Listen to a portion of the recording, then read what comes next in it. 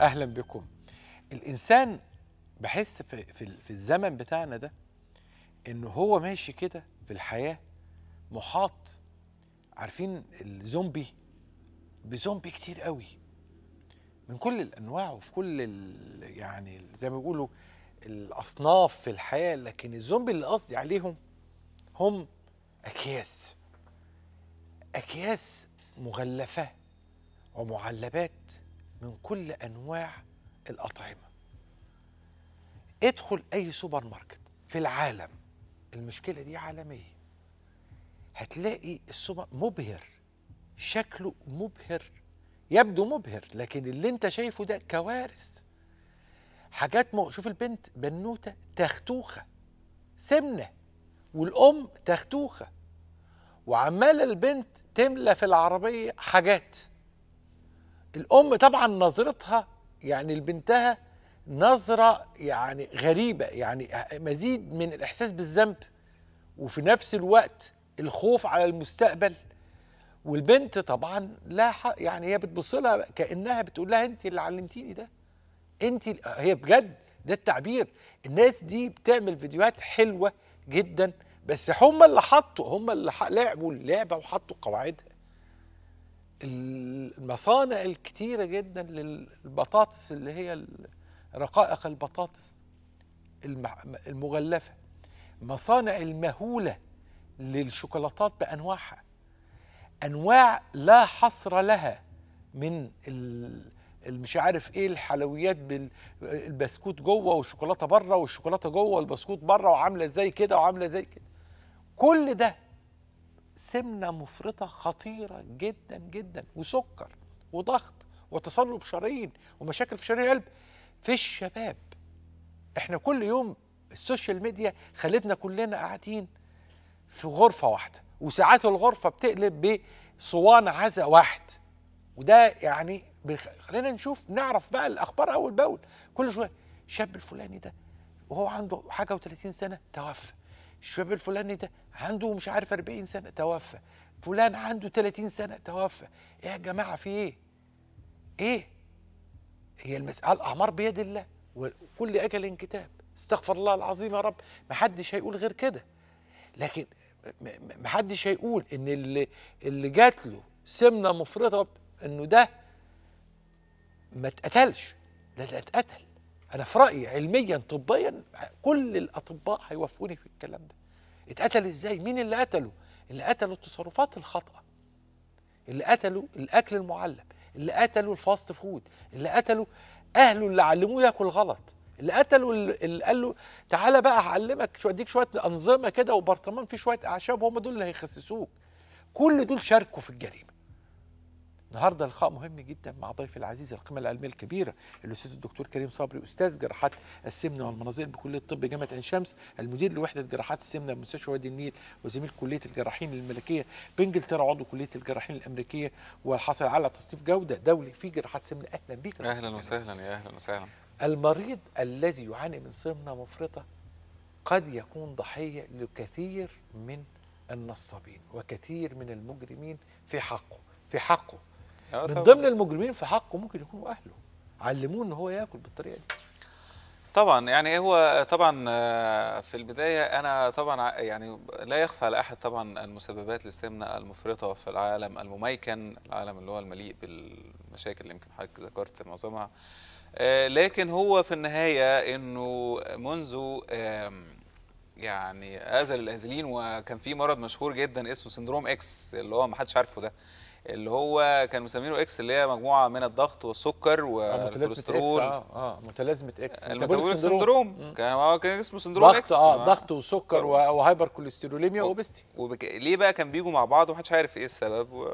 يعني طبعا ده ال metabolic syndrome ده مجموعة من الأمراض لما تصاب بيها انت عرضة للإصابة بأمراض القلب اللي هي ربما تكون سبب بقى للوفيات فيما بعد آه، ب- بأكتر من تسع أضعاف آه، الإنسان الطبيعي.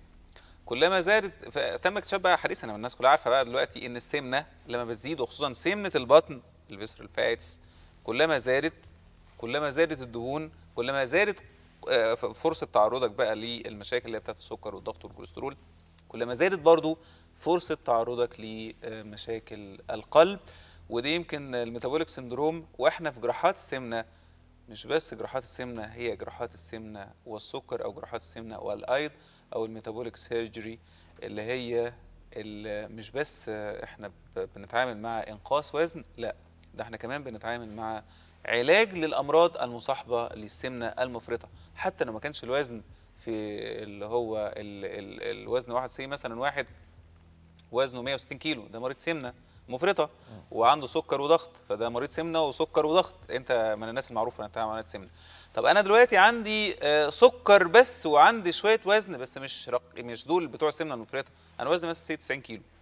زايد 20 كيلو آه، عن الوزن الطبيعي وعنده سكر.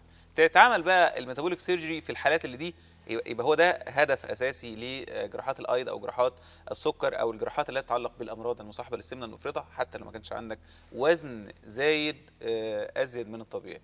ويمكن الإفسو أو الفيدرالية الدولية لجراحات السمنة والسكر من أيام مدريد إيه، كان من أربع سنين ولا يمكن ثلاث سنين.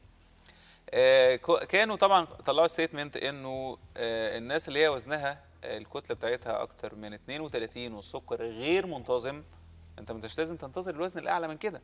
مش وزن 32 يعني قصدي ال- ال- كتلة الكتلة يعني وزن- الوزن غير آه، متناسب بنسبة index. آه. آه. بالظبط فده ربما يكون عندك 15 20 كيلو في الوزن الطبيعي سكرك مش متظبط انت من الناس اللي تعمل عملية ده علم يعني طب أنا طبعا مش ده آه، أنا أقصد إن جراحات ال- ال- ال- العلاجيه زي عملية تكميم المعدة أو تحويل المسار في الناس المصابة بالسكر بس مش لازم يكون عنده سمنة مفرطة ده وضع قائم ده جراحة يعني بتتعمل لأن انت توصل لارقام مخيفه للسكر التراكمي وما تبقاش عارف تعمل لها إيه. سكر والله أنا بلاقي سكر التراكمي بتاعه 14 14 و13 و13 انت عارف إحنا كنا من انت عارف من 10 سنين من 10 سنين يعني. بالظبط. كنت تشوف سكر 12 أو 11 ده مرة كل مرعب. سنة. آه. مرة كل سنة. تشوف واحد أو اتنين مرة كل سنة. دلوقتي بتشوفهم عادي. أيوه لأ كتير جدا. وإحنا إحنا بقى بنشوفه أكتر كمان يمكن عشان السمنه المفرطة إحنا بنلاقي الأرقام دي في المتوسط العادي يعني الطبيعي. ويمكن عاملين حاجة اسمها DiaRem score آه، عاملين scoring system يعني بنشوف آه، قد إيه من الناس يعني كان عندها سكر في درجات مختلفة وقد إيه من بيستفيد بنسبة قد إيه. لأن طبعا كلما آه، كان تقدمك أو طلبك للعلاج بدري كلما كنت أكتر يعني واحد بيقول لي أنا هستفيد قد إيه من من العملية دي في أنت في scoring system بالنسبة لل... لل...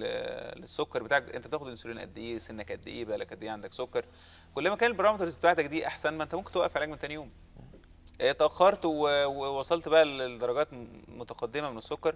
هتوقف المضاعفات هتنزل الوزن الزايد هتوقف السكر عند حده لكن ربما ما توقفش علاج. آه، ربما تستمر مثلا على أقراص ربما تستمر على جرعة يعني قليلة من الإنسولين لو كان سكرك بقى له 20 سنة تاخد جرعات عالية من الإنسولين.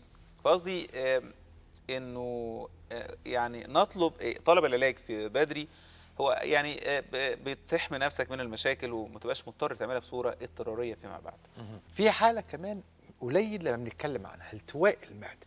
ناس كتير على فكرة الكلمة دي بالنسبة لهم أول مرة يسمعوها. حتى اللي بيتفرجوا علينا باستمرار هيقولوا أول مرة ده إيه إيه الالتواء بتاع المعدة؟ المعدة بت- بتلف؟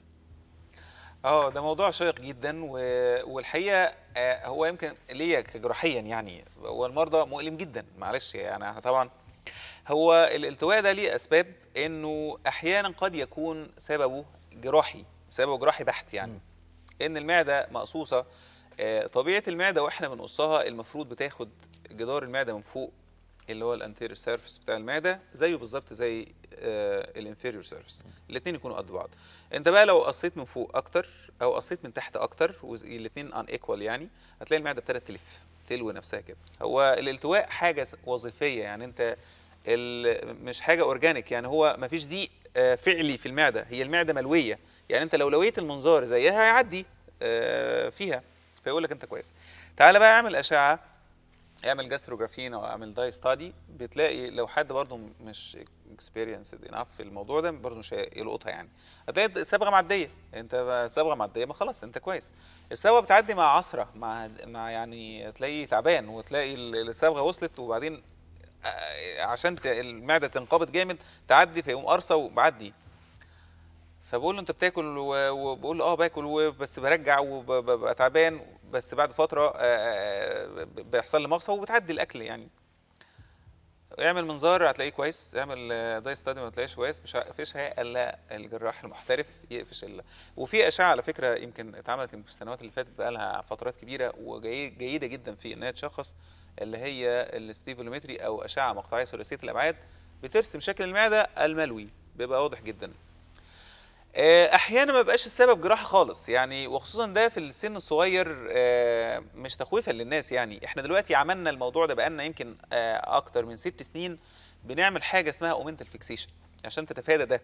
بتقوم تثبت طبقة الدهون آه، أو القص المعدة قصة مظبوطة وتاخد طبقة الدهون تخيطها على ال suture line كله على المعدة كلها تقوم فارده المعدة كده مظبوط. استحالة إنها تتلوى. ليه؟ لأن إحنا ال ال ال في tension على كل ال suture line فرده المعدة مظبوطه في شد على كل ال- آه، السوشيال خط لاين، آه الخط الدب- خط الدبابيس. في ش... فالشدة مشدود. دي تخليه ثابت. ما, ما ينفعش يت- يتلوي ما, ما يلويش. يعني آه، في طريقة أنا هحكي لحضرتك عليها آه، يمكن ده ال suture line ده الخط بتاع الدبابيس اللي على اليمين والشم... اللي على اليمين ده اللي باين قوي. مش هو اللي هو على الشمال اللي على آه، على يمين. الشاشة، آه. آه على يمين الشاشة اللي إحنا باصين من ناحية اليمين هو ده ال suture line ده. لما بتثبت عليه طبقة الدهون بتشدها بتفردها طول الوقت وتحتفظ بقى بال C curve بتاعها ده يبقى مظبوط أنت بتسعدني بالحوار شكراً. معاك جدا جدا.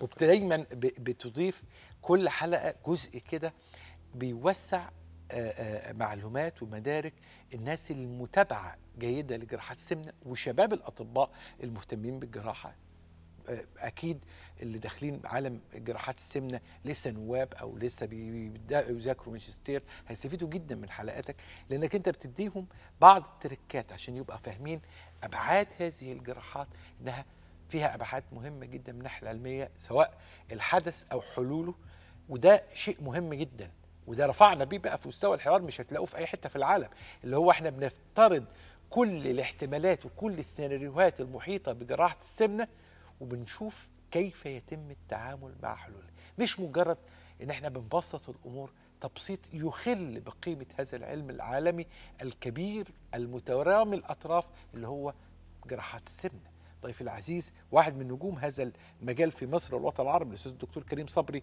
أستاذ جراحات السمنة والمناظير بكلية الطب جامعة عين شمس والمدير لوحدة جراحات السمنة ومستشفى وادي النيل وزميل كلية الجراحين الملكيه بإنجلترا نورت شكراً. الدكتور. شكرا. خليكم دايما مع الدكتور. أنا اسمي سعيد حمادة سعيد العربي. عندي 13 سنة. آه، عامل عملية تكميم تكميم معدة مع الدكتور كريم صبري. كنت آه، قبل العملية 105 دلوقتي بقيت 75 كيلو. وأنا كنت قبل العملية كنت آه، زدت في الفترة اللي فاتت قبل العملية. فرحت عملت تحليل سكر فطلع عندي بوادر سكر. فأنا قلت ما ألحق نفسي قبل ما السكر يجي عليا وكده. فدخل جيت لدكتور كريم ودكتور كريم قال لي لازم تعمل عملية. ف وقبل العملية كان صحابي بيتريقوا عليا يعني على تخن شديد وكده. دلوقتي ما مبقوش يتريقوا عليا واللبس تماما اختلف. اللبس عن قبل العملية غير بعد العملية. و مبقاش حد يتريق عليا.